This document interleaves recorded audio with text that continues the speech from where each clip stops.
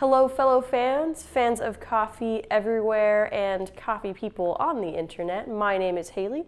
I am your local resident neighborhood Q grader coming at you live from our store in Playground in San Francisco, California, here with another brew guide recipe for the wonderful Tim Wendelboe Finca Tamana Variedad Colombia um, a washed Colombia from Huila, Colombia, just really, really delicious. Before I get into why it's so cool, why don't we get into the recipe and how I'm brewing it?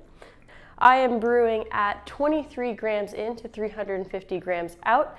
Uh, I've got a 6 on Ode Gen 2 grind setting, 5 on Ode Gen, which is about a 5 on Ode Gen 1, and a 7 on Ode plus SSP. Uh, medium to medium coarse, so like towards the coarser end uh, of your grind settings on Opus. Um, I'm at brewing at 205 degrees, and I am going to add some optional swirls for a little bit of optional agitation in here. I know in my brew guide that will be linked in the description of this video, I said to do five gentle swirls right after the bloom, and then I'll do five gentle swirls after the last uh, pour as well. In this video, I didn't do five gentle swirls uh, after the bloom, but add those swirls in should you feel like you're not getting enough out of your uh, out of your brew with just the five swirls at the end is kind of the intent here. Anyway, moving on. I bloomed at 46 grams, so about double the amount of water as coffee I used. And then I broke bloom at 30 seconds, so on the sooner end of my typical 30 to 40 second range. Um, and then of course I'm doing a four stage pour, so I'm going from 46 to 150, uh, then 250, then 350, and then I'm always gonna do those five gentle swirls after 350 with this coffee, but I'm finding depending on the roast date, I'm also adding those five swirls right after the bloom.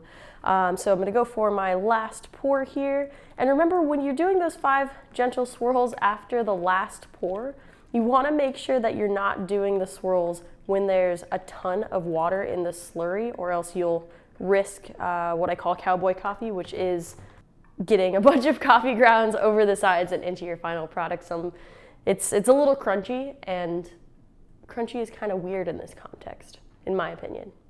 Um, anyway, this coffee is really delicious. It's a really stellar washed uh, Colombia coffee, like I said, from Huila, specifically El Pital. Thank you so much to the crew over with uh, Tim Wendelboe for sharing this coffee with us as a fellow drops exclusive. In the cup, we're getting such a complex, such a complex flavor profile with firm structure. Um, just super delicious elderflower, herbals, um, underneath like lots of red fruit and a little bit of a little bit of like molasses, some green apple acidity, um, hibiscus florals are in there too, with maybe a little bit of stone fruit like apricot, just a lot of crazy stuff. Um, which brings me to my next subject, extracting as espresso. I think it would be super stellar as espresso, probably will bring out a lot of that red fruit in like a punchiness. I suggest trying a one to two ratio as per a lot of standards from Tim Wendelboe. Um, so I would probably start with like 20 grams in, 40 grams out, maybe between 28 and 32 seconds, uh, 200 degrees Fahrenheit. Try some lower bar extraction if you can, like seven or eight bars for a longer extraction. Uh, but if you're extracting at nine bars, maybe make it a little bit quicker. Experiment. See what's going on your water, specific water in your area, your altitude, the atmospheric conditions in your area will all affect what's going on in your extraction and like the time of extraction too. It's not, it's uh, it's it's really up to experimentation, but definitely I suggest starting with that ratio and just seeing where you're at. If it's finishing uh, too sour, I would definitely tighten the grind or make finer the grind so you're pulling a little bit longer.